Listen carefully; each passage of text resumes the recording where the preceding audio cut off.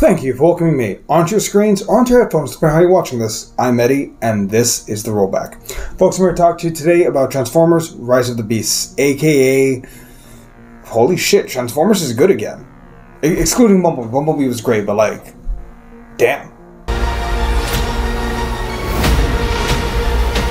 So, the synopsis Optimus Prime and the Transformers take on their biggest challenge as a new threat capable of destroying the entire planet emerges but with the helps with the help but with the help of the Maximals, they may be able to save Earth.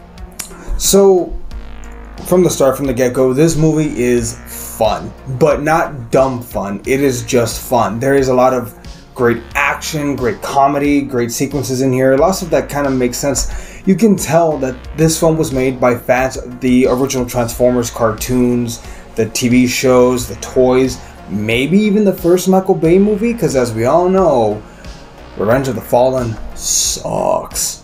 That said, though, this film is is fun and they build so much. I mean, to start, the the time it takes place in the '90s, it's fun. I enjoy it. I like that, and also it's a bit of a good throwback period. We've been seeing a lot of stuff being thrown back to in the '80s. It's nice to start seeing some '90s. Although I'm not looking forward to the time when uh they start doing throwbacks to the 2000s, and then I'll feel old shit. So I want to give a shout out to a lot of the performances here. Uh, so Anthony Ramos, who plays Noah Diaz, shines in this film. He's probably the best human character we've had since the original Sam Witwicky, and even then, Sam was somewhat fleshed out. He, the best version of Sam Witwicky was in the original. Like that was the best version. He went through an arc of becoming a kid to becoming someone who was willing to do great things in spite of his fear. Whereas in the second one, he was kind of a scared bitch, and then the third one, just like he became a jealous guy.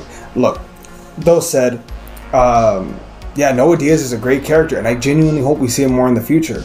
Uh, in addition to that, I love Mirage. I know Pete Davidson probably had fun with that film, and he's just he's fun. Mirage is, I think, my new favorite Transformer. Granted, Bumblebee has had a lot more exposure than him, so that should be saying something. Also, we got to see him have this like cool Iron Man suit, which I think could actually take on Iron Man, but that's a conversation for another day. Optimus is different. He's always portrayed as like this robotic leader that's just like forward, like you know, this great leader. I like how we see in this film one, he's dismissive of humans. Two, he's not necessarily scared, but more goal oriented of we just need to get home. Like fuck these humans, fuck this place. Like let's just get home and I love the fact that he his arc is different in this. Even the degree of self-sacrifice where he says we could we could go home with that shard, but we're not going to. Like he steps up to the plate. You're not seeing a great leader. You're seeing an Autobot become a great leader, and that's nice. Uh, the Maximals, awesome experience. Uh, I loved it when uh, when Primal and Optimus Prime like teamed up I love also the fact that the Maximals had their own a bit of an arc. You know, they didn't overplay this film, but they were in it a lot of the beginning and a lot of the second and third act, which I greatly appreciate. I'm sorry about that. That's an alert from my computer. Shut the fuck up. Now, that said, um, Optimus Prime was fleshed out. Mirage was great. Noah Diaz was great. This film made the most of it. Also, all the Autobots had a distinct looking character that I like. They're a lot more simplified than the Michael Bay versions, but I think that's a good thing. The Michael Bay versions were like these weird, uh, overly spiky, overly complicated messes, whereas in this one, you get kind of an idea of what they look like. Uh, they're not as simple as like the cartoons, but I appreciate it. Um, the simplified designs, also the team.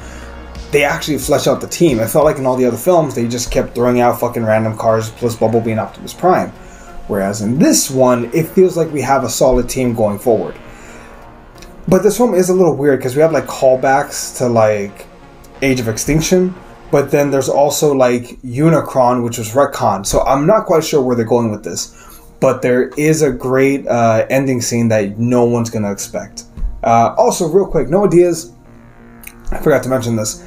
He feels relatable because he faces real people problems. Uh, in this film, in particular, his brother is sick and they can't afford the medical health care he needs. Which, in America, that shouldn't be a fucking thing, man. shouldn't be a fucking thing. Sorry. Hashtag socialism. I'm just saying. Or hashtag Medicare for all. Go Bernie. Anyway, that said, though, this film, through all out, was a lot of fun. Um, from Noah Diaz to Elena, played by Miss Dominique. Dominique, I hope I'm pronouncing that correctly. Dominique Fishback. Great, great performance all the way through. It felt like the human characters in this film had something to do, had something to work with, and progress the story forward. So props to them in this capacity. This film is just a lot of fun. As far as cons are concerned, I know a lot of people are bitching about the third act and how there's too much plot convenience, to which my response is, you're watching a Transformers movie, what the fuck do you expect? At least it's fun and in a good way, and we have great characters to follow rather than a crappy story. I, I don't know. I'm happy with what they did and what they were able to do. And I'm really looking forward. I didn't see Bumblebee in theaters. I watched it on TV on Vudu. This film I did watch in theaters, and I'll be honest with you, if they continue in this trajectory, I can't wait to see the next one. I'm interested to see where they go next, especially with that uh, potential crossover we might be seeing, but I'm not going to spoil anything. But anyway, this film is an A for me. Uh, what did you think? Go and comment down below. Do us a favor, like and subscribe, and we'll catch y'all later. See everybody.